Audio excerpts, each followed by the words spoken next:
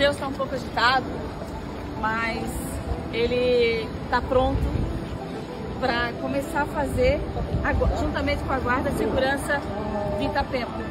Então, era o nosso objetivo, né, Major? Instituir o K9 no município de Itapema.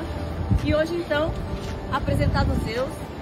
E o Major Rodrigues vai contar, vai explicar para vocês qual é a função dos Zeus, juntamente com a nossa Guarda Municipal, no município de Itapema.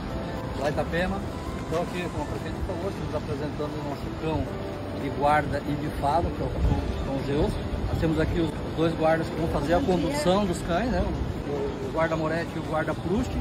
É, a princípio nós começamos com um cão, que é o Zeus, e estamos já pleiteando um outro cachorro que vai ser uma doação da guarda de Florianópolis.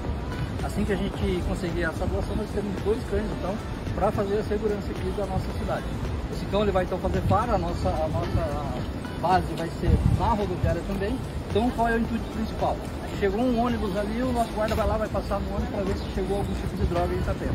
Segundo ponto, maconheiros que vêm aqui incomodar o calçadão, né? o nosso Deus vai estar de olho, vai estar fazendo. Mais um momento da Secretaria de Segurança Pública e vocês que encontrarem, pode chamar. Ele atende pelo nome de Zeus.